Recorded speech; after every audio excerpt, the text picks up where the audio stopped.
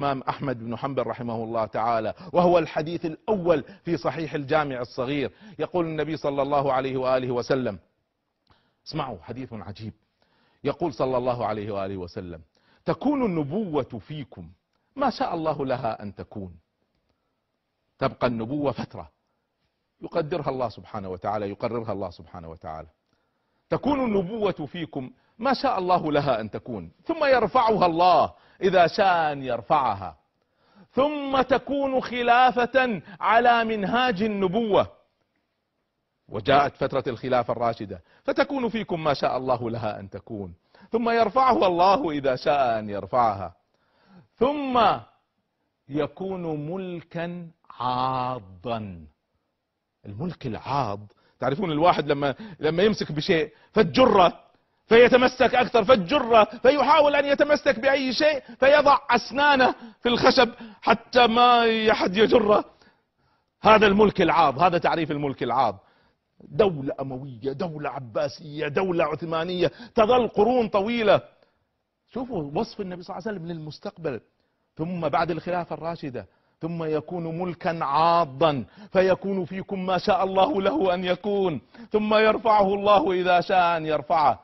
ماذا بعد الملك العاض؟ يقول صلى الله عليه وآله وسلم ثم يكون ملكا جبريا. الجبر هو القوة تعرفون الجبر القوة.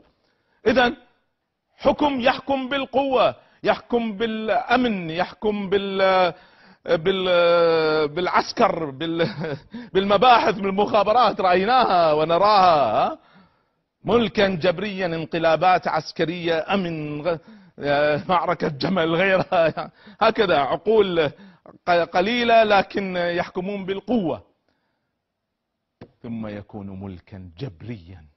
فيكون فيكم ما شاء الله له أن يكون. يبقى هذا الملك الجبري يحكم الأمة بالجبر بالجبروت. يحكمها فترة.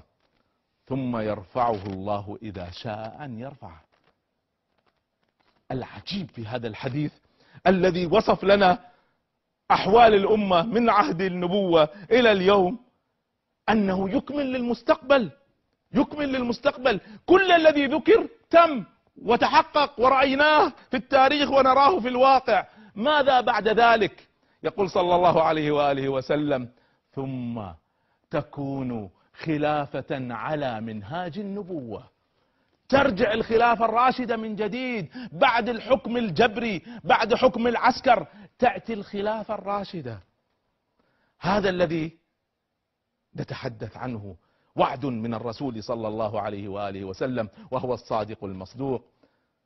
ثم تكون خلافة على منهاج النبوة ثم سكت صلى الله عليه وآله